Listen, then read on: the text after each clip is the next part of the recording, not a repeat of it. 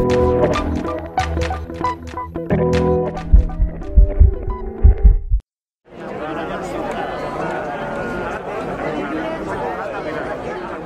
vaig estirar el braç, ensenyant el, el braçalet, cridant-li que era premsa, premsa, premsa. Ell em va mirar, va dir, me da igual, llavors em va fotre el cop de porra aquí baix a, a la cuixa, llavors vaig tindre que... vaig marxar de, del lloc. Estàvem cobrint les mobilitzacions en grup i em van disparar un projectil de foam directe a la cama.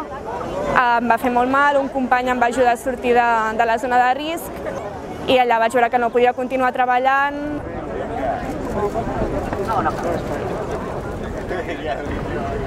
La xifra de gairebé 65, sí, 65, segons els darrers recomptes, periodistes víctimes d'agressions, informadors víctimes d'agressions mentre feien la seva feina és absolutament intolerable.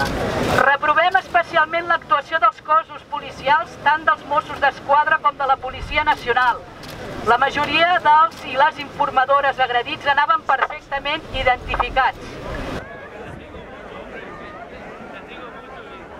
de fet unes xifres d'agressions absolutament excepcionals i no només això, sinó que es van donar en un context de professionals cobrint eh, protestes i eh, 7 de cada 10 d'aquestes agressions van ser causades per la policia. El tema de també divendres va, va ser que, no sé si, si va ser coincidència o ordres directes, de que eh, molts companys i companyes van rebre per part de, de la Policia Nacional.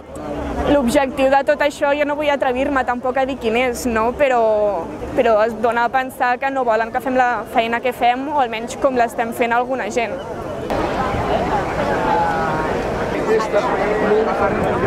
Hi ha companys amb trets de foam a la cara, al coll, a les extremitats i el foam va on s'apunta. No? I a més a més estem parlant de gent que anava amb el peto taronja absolutament identificat. No?